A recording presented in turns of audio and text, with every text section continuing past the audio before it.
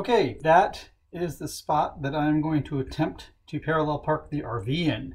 So give me one second, I gotta run downstairs, jump in the RV, drive up the street, hopefully no one takes it, and then try to park there. Here I go.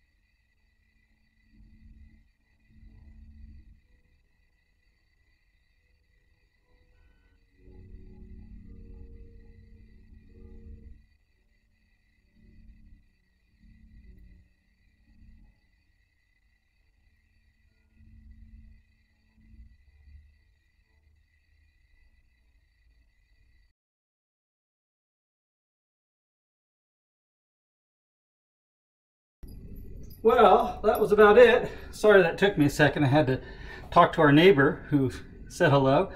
But uh, yeah, pretty easy to parallel park it. You just, uh, once you get used to where you cut it, and you'll get used to that pretty quickly, then you can uh, do it pretty fast. And uh, as you can see there, it's, uh, you know, got into a good sized space there. So if you have any questions, just um, hit me up in the comments. Sorry, I'm out of breath. I had to run up four flights of stairs to get back up here. All right. I uh, hope that gives uh, all the viewers who have asked questions about how easy it is to parallel park this thing uh, the answer. Thanks.